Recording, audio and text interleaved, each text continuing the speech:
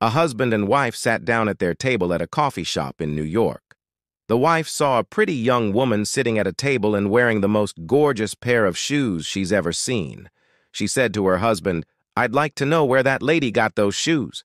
So the husband walked over to the young woman and asked, Excuse me, may I know where did you get those gorgeous shoes from? The young woman replied, I got them in a store just around the corner from here. The husband asked, Nice. How much were they? The woman replied, Oh, around $300. The husband said, Thanks for letting me know. He then returned to his table and said to his wife, She got her shoes in Los Angeles.